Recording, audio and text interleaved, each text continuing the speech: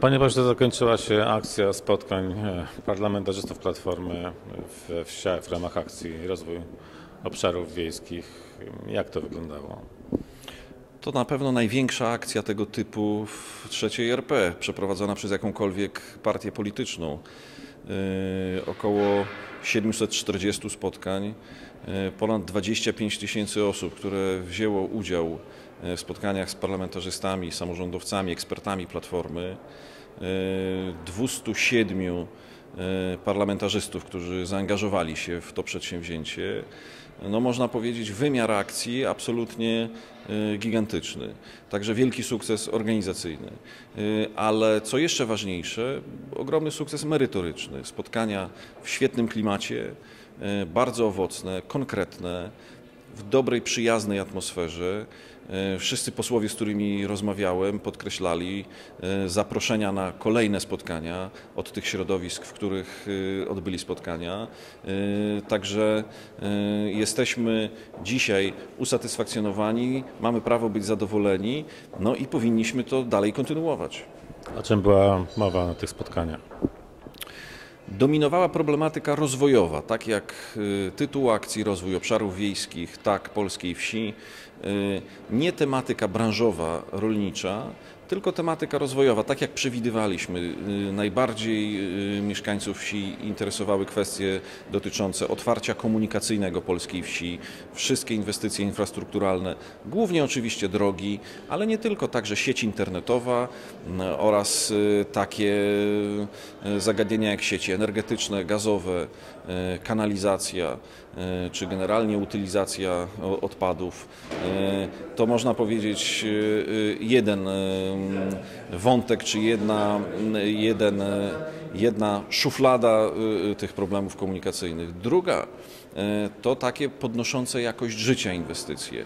I tu mówiliśmy, i to było świetnie przyjmowane, o orlikach, o schetynówkach, o Funduszu Sołeckim, który pozwala podejmować inicjatywy wspólnotom wiejskim na tym najniższym poziomie, tej podstawowej wspólnoty.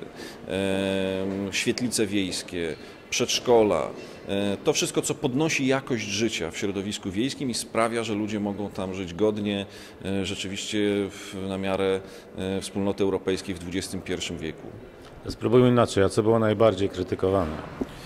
No, najwięcej uwag krytycznych dotyczyło tempa tych zmian. To znaczy wszyscy podkreślali, że dobrze, ale dlaczego tak wolno, dlaczego tak mało, że trzeba tego znacznie więcej. No, potrzeby są tak gigantyczne, że można e, w jednej gminie znaleźć wsie, w których rzeczywiście już coś się zmieniło, także przy użyciu pieniędzy europejskich, oraz takie, w których te inwestycje są dopiero planowane, ale no, praktycznie nie odnajdowaliśmy środowisk, w których y, y, nie byłoby żadnej inwestycji, czy nie byłaby projektowana jakaś y, inwestycja, jakaś zmiana. Więc to tempo, ta niecierpliwość, żeby, żeby zmiany następowały szybciej, rzeczywiście była najpoważniejszym takim przedmiotem krytyki.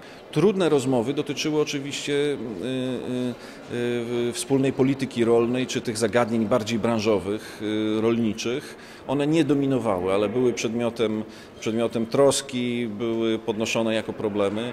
Mówiąc krótko, polscy rolnicy oczekują, aby w przyszłej perspektywie budżetowej Unii Europejskiej e, e, wspólna polityka rolna była kontynuowana, mówiąc obrazowo, żeby były kontynuowane dopłaty, ale żeby one były już równe dla wszystkich e, rolników w całej Unii. Polscy rolnicy czują się tak samo jak ich koledzy z innych krajów Europy i nie chcą, żeby dzielić już na mm, nowych, starych członków Unii Europejskiej czują się już zasiedziali w Unii i oczekują wszystkich z tego e, tytułu przywilejów. E, czy z tej akcji będą wyciągane jakieś wnioski, będzie robiona jakaś zmiana programu, jeśli chodzi o wieś? No bez wątpienia y, y, musimy kontynuować dorobek tej akcji. Y, pracujemy w tej chwili nad tym, aby zakorzenić problematykę wiejską w strukturach Platformy Obywatelskiej.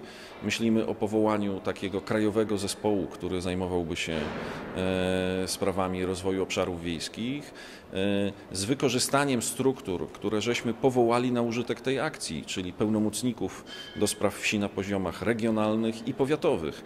To jest wielka rzesza ludzi, którzy przeszli już pewien sprawdzian, e, są dzisiaj e, naładowani energią, chcą działać dalej i w najbliższym czasie wyjdziemy do nich z propozycją kontynuowania tej działalności jako już trwałej, nie akcyjnej, trwałej działalności Platformy, której celem będzie zarówno e, rozwój obecności Platformy Obywatelskiej na obszarach wiejskich, jak też i prace programowe. Chcemy, aby akcja wiejska, dorobek tej akcji wiejskiej, która można nazwać, była też w jakimś sensie no, jedną z największych konsultacji społecznych, które y, y, y, od, odbyły się w ostatnich latach na obszarach wiejskich. Mamy udokumentowane problemy, uhierarchizowane.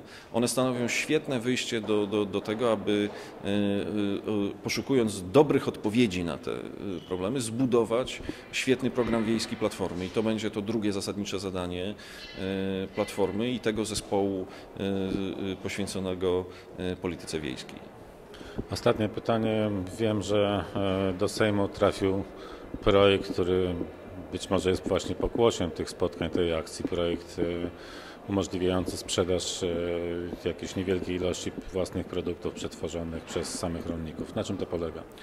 Podczas akcji spotkań wiejskich myśmy promowali projekt naszej ustawy, autorstwa naszych parlamentarzystów Platformy Obywatelskiej, e, konkretnie grona senatorów Platformy Obywatelskiej, o sprzedaży bezpośredniej drobnych produktów spożywczych wytworzonych bezpośrednio e, w gospodarstwie rolnym.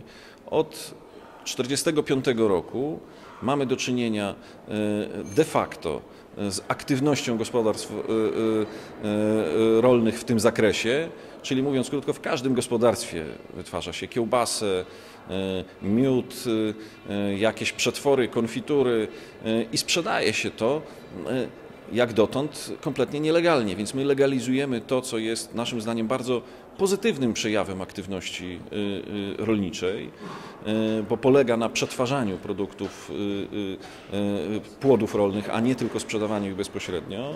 Legalizujemy to do pewnego progu, z, mm, y, zdejmujemy z opodatkowania y, i wprowadzamy tylko dwa warunki, że musi to być wytworzone bezpośrednio, nie przy pomocy osób trzecich, ale musi być rzeczywiście wytworzone bezpośrednio w gospodarstwie rolnym i musi być sprzedane bezpośredniemu odbiorcy. To znaczy nie może być sprzedawane do sieci hurtowych, tylko musi dotrzeć to e, no zazwyczaj w systemie bazarowym e, do, lub też jakimś innym, ale do tego ostatecznego końcowego e, konsumenta. To od dawna oczekiwana propozycja, mówiąc krótko, która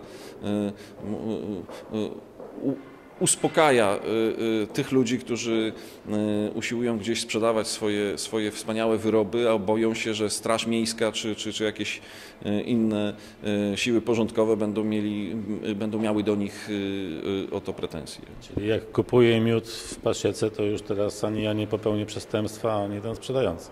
Dokładnie tak, czyli można powiedzieć, to jest wreszcie normalna sytuacja w tym zakresie.